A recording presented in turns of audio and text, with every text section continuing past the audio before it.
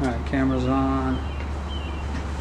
And then, yeah, if you'd rather, like, you can look at us if you want, or look at the camera, kind of up to you. But um, go ahead. Just off. chatting. Yeah. Yeah. Um, I guess I, I I know Casey had like some things that he wanted to touch on, but uh, so do you want to like do that first, and I can just kind of piggyback? Yeah, yeah. Okay. Let's just go through some of the just basic stuff first. So, like, um, like, what- sorry, what's your name? Alright, uh, Bryce Jarvis um, from Nashville, Tennessee, and I'm a right-handed pitcher. How old are you, Bryce? I'm 23. Perfect. Um, and what school did you go to? I went to Duke for three years. Very nice. It's kind of just. I just want to get those basic ones down. But yeah, go ahead, Al. Um, yeah, well, I know something that Casey kind of mentioned to me that I thought would be kind of an interesting like story angle is like obviously going through the draft like during COVID. Can you kind of just like talk a little bit about what that was, what that was like? And obviously, it's not like the experience you you dream of when Yeah. it's happening during a pandemic, but maybe you can just kind of talk about that a little bit. For sure. So I think that story kind of starts with our college season getting canceled. Um, I think we were three or four weeks into the season and uh, found out that like there was no longer going to be a season. Right. So I got together with um, I think it was six of my Duke teammates Okay. and we road tripped it down to Florida and found a facility to train at and um, there were a bunch of other guys down there doing the same thing Okay. all over the country. So we got to you know work out and um, throw bullpens for the pitchers. The hitters got to take live ABs and um, basically just stay in shape until the draft because Right. all the guys I was with were draft eligible. And um, so you know just got our work in down there and. Um, I think it was you know two or three months we were down there before the draft, and Okay. I think that time was um, huge leading up to the draft Yeah.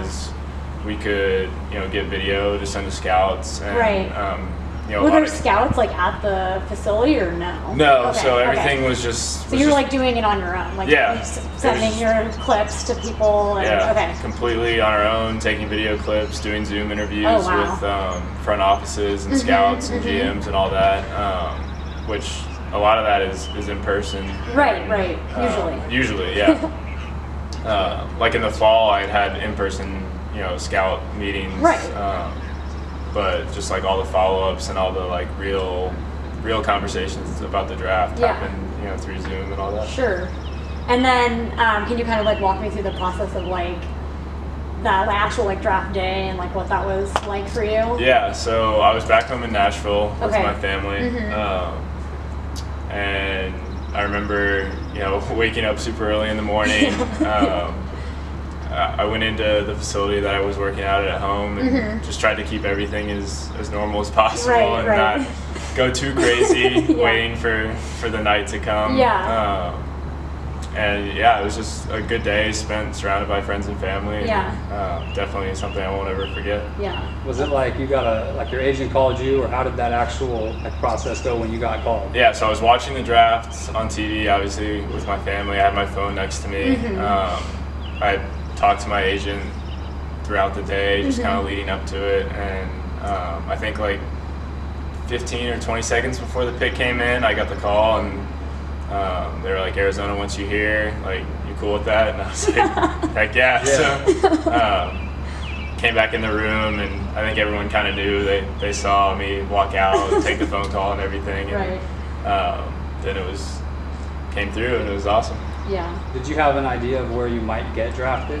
Um, a little bit, yeah. I mean, it's hard to hard to nail it down exactly, but Mhm. um, I had like a 10 to 15 pick range that Okay. I had a good feeling that I was going to go in, but nothing's for sure, and you definitely don't want to count anything before they hatch. Right. Had you talked to the Diamondbacks a decent amount before the draft, or, or what was your relationship like with them prior to being selected? Yeah, so I talked to most of the teams before the draft.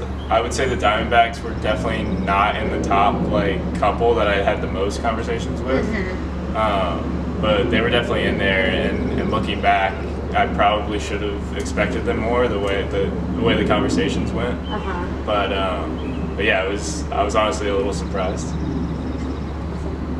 Um, okay, pivoting a little bit. Um, we I was just reading like the game notes that um, our announcer puts together, and I saw that your dad was in the ma- in Major League Baseball. So can you kind of talk about like your relationship and what that's been like as you kind of started your professional career? Yeah, for sure. Um, so obviously having my dad, you know, play while I was growing up. I was growing up in baseball. Mm-hmm. Yeah. Um, you know, my family was all about baseball. Like spring breaks were spent going to see him in spring training, Mm-hmm. and um, summers were watching him play and um, getting to hang out with his teammates in the clubhouses and stuff. Yeah. And so that was kind of my childhood, and um, definitely didn't feel pressured to, to play baseball myself, but it's definitely something that you know I think I was put here to do, Mhm. and so having my dad be that resource that I can always go to and For sure. um, you know ask advice, not even on field stuff, like Mm-hmm. off the field stuff and. Um, you know, draft stuff, and Yeah. you know, there's a whole lot outside of what goes on between the lines that Mm-hmm. I feel really fortunate to, to have him to, to ask questions about. Yeah, definitely. Anything you want to add on that, please? No, I mean it's he, he had a, had a pretty fun career. We were you know looking at it and looks like he missed uh, a couple World Series opportunities by a year or two. Really but, close. Yeah. um, yeah, I mean that's just awesome to have have that kind of resource you know at home with you and, and be Sure. kind of that guiding light. Yeah, that's that's cool. Um, and then what about like the rest of your family? Do you have like siblings? Yeah. Or, okay. I have a younger sister. Um, Okay. She's about to be a senior at Auburn. Okay. War Eagle. Uh, War Eagle. My sister went to Auburn. so, Yeah. yeah. She loves it there. Uh-huh. Um, and yeah, it's just me and my younger Just sister. you and your sister. Okay. Yeah. Nice.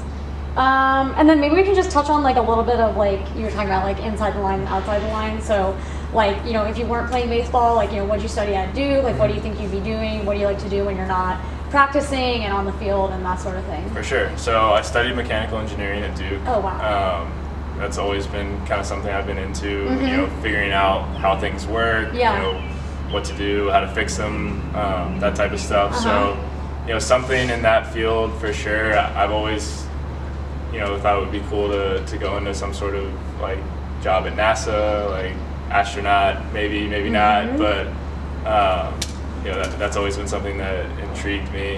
Um, So do you like love the analytic side of like pitching, Oh, and for baseball, sure. and stuff like that? For sure, I think that helps me a ton. Yeah, You know, definitely. being able to take in all the all the data that's available to Uh-huh. us, especially as pitchers Yeah. these days, Mhm. um, and being able to like sort through that very analytic, analytically, Right. um, for sure helps. And then you know, off the field, I think it, it's hard to hard to play in the minors without you know liking to golf at least a little bit, especially as a pitcher. There's a lot of a lot of downtime, but. Yeah. Um, but yeah, I love to golf. Okay. Um, definitely something that you know I gravitate towards, especially you know hanging out with teammates out Yeah. on the course. It's a it's a good kind of de-stressor. Have you guys even had time to, to do Been to the that? Oh, yeah. reserve Okay, once. what's that? They've, al- they've already been to the reserve. Oh, okay. Yeah, for nice. sure. Getting some, some holes in. Okay, cool. Um, that's awesome. And then I kind of just have like some quick fact questions. If there's anything else you want to touch Yeah, on yeah. before.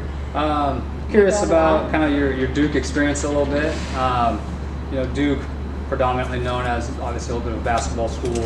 Um, did you have other opportunities for other schools? What led you to go to Duke? Um, and, and what was kind of the baseball experience like there? Yeah, for sure. So choosing Duke kind of takes me back to, um, you know, I definitely wanted to do some sort of engineering. Um, they have a really good engineering school. Um, I had opportunities to go to other, you know, good engineering schools with good baseball, but I think the thing that attracted me towards Duke was that they didn't really have the, you know, storied success of a baseball program, but they were like up and coming. Right. Um, so like all the pieces were kind of getting there to, to turn the program around and, and really you know make a run at the College World Series. It was somewhere that um, I knew I would be able to have an impact right away as a Yeah. freshman, um, and that was something that was really important to me. I didn't want to go somewhere and wait around for a spot to open up, um, and I felt like I could I could impact the team really quick there. Um, and it ended up you know being a great experience. We went to two super regionals. Um, we're on our way to another um, before the season got shut down. Um, and you know, looking back, I, I definitely would have done it again. Yeah. And I, I, I talked to you about this one of your first days here, but we would love to, to kind of hear it again on camera uh, about your perfect game Yeah. uh, against Cornell. And, uh, you know, I, I was, I, I know I asked you, but I was definitely interested at like, you know, kind of at what point did you feel like you had your stuff going that day, and, and you know what was really clicking for you in that process? Yeah, so definitely one of my favorite memories between the lines on a baseball field. Um, yeah, I felt great before the game.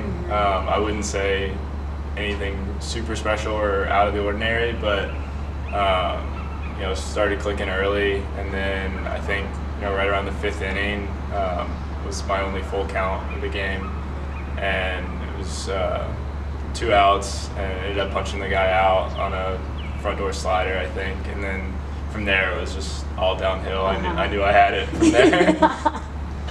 That's awesome. That what is what so kind of cool. how did you feel after the game? Like I'm assuming you had friends, family reaching out, calling you. Like, Yeah. You were on Sports Center. I'm, you know, I'm sure that had to be a cool process. Yeah, it was awesome. Uh, I was fortunate enough to have both my parents in the stands for that. Um, made that even more special. Mhm. Um, it was awesome just sharing it with my, my teammates. I think, uh, you know, looking back, no one ever does something like that alone. It takes Mhm. plays in the field, plays behind the plate. Um, so just getting to share that with, with everyone who, who took part in it was awesome. It's nice. That's so cool. Um, anything else you want to add? I'm okay. for now, yeah. And then I don't know if you've seen like we have like a little digital program for all the fans, and we just do like a player Q and A. So I just have like some quick like kind of fun questions. So like, what would your walk up song be? Uh, legend by the score. Okay. Um, favorite sports team. Uh, Nashville Predators. Okay. Um, hobby. I mean, I guess you're gonna say golf, but if it's something different. Golf, yeah. Um, yeah, I, I'll go with golf. Okay. Um, so yeah, anybody within the Diamondbacks that's really kind of taking it under their wing and, and helped get you going in pro ball. Um, I think you know all the pitching coaches in the organization are, are really good. They have a really good grasp on um, you know what it means to, to develop as a pitcher. So Mhm. I mean Barry Enright and our pitching coach Shane um, have both done a really good job at um, you know allowing me to be myself and, and do the things that I know can make me the player I want to be, but also you know steer me, keep me in the lines, and Mhm. um, you know give their input, but also you know take mine as well. That's awesome. Yeah. Assumedly, uh, you know, a goal would be to make major leagues and, and you know pitch at the big league level. What are some of your ultimate career goals? Um, I mean, obviously playing the big leagues, Mhm. uh, win a World Series. Um, let's see. Yeah, I mean, it's always just been you know get to the big leagues and, and stay there for me. So Mhm. um, outside of that, it's it's kind of it for now. But Yeah. uh, hopefully it'll get more specific as I as I get closer. There you go. The last one that I have is is do you have like either a quote or like best piece of advice that you've been given? You know, something that you'd want to share. Yeah, I mean, my main thing when I'm on the mound is just control what you can control. Um, whether that's leading up to the game with your preparation or, or what you're doing on the mound, just not letting outside factors affect you. Whether it's the umpire, plays in the field, like can't control that, so it's not worth worrying about. Mm-hmm. Perfect. Yeah. Good advice. You got anything else? I don't think so. Awesome. Yeah. That's about it. Thanks so much.